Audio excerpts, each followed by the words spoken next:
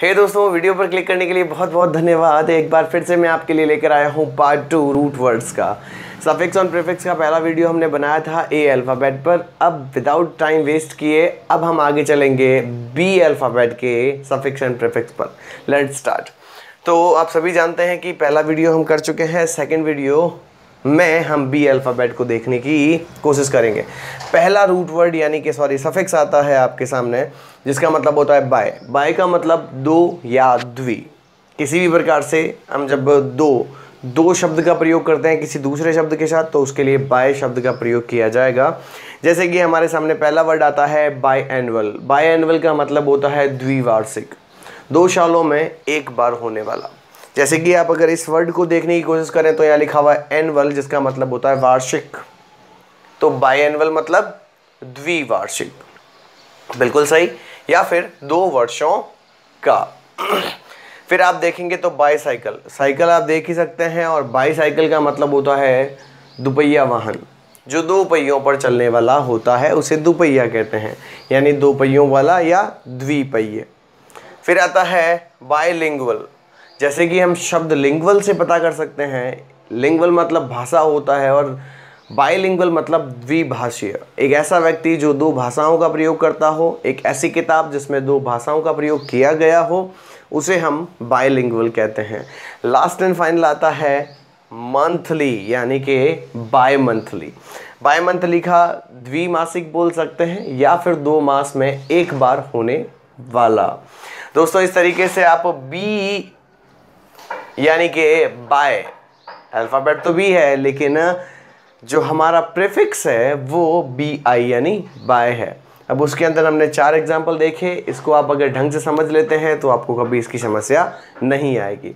Next की तरफ़ बढ़ेंगे, लिखा हुआ है बायो सभी जैसे जानते हैं बायोलॉजी इस बायो का मतलब क्या होता है? बायो का मतलब होता है जीव या जीवन। जब कभी भी आप किसी लाइफ की बात करना चाहते हैं तो बायो शब्द का प्रयोग किया जाता है। फॉर एग्ज़ाम्पल बायोलॉजी सब जानते हैं? बायोलॉजी अपने आप में एक क्या है? जीव विज्ञान है। क्या है जनाब? जीव विज्ञान। जब आप बायो लगाते हैं तो जीव तो आपके सामने आ ही गया, और लॉजी विज्ञान को बताता है तो ये क्या हो गया? जीव विज्ञान हो गया। फिर आप देखते हैं बायोग्राफर बायोग्राफर बायो मतलब हो गया जीव या जीवन। ग्राफर मतलब रचना करने वाला तो जीवन रचनाकार। जीवन रचनाकार। जीव चरित्रकार भी लिखा जा सकता है, जीव चरित्र लेखक भी लिखा जा सकता है, इसका भी ध्यान रखिएगा। नेक्स्ट आता है बायोग्राफी एक तो बायोग्राफर था, अब एक बायोग्राफी है। बायो फिर से आपके लिए जीवन हो गया, और ग्राफी मतलब चरित्र, यानी जीव चरित्र। जब आप इसकी बात करते हैं तो जीव चरित्र या जीवन चरित्र भी कहा जा सकता है। ध्यान रखेंगे।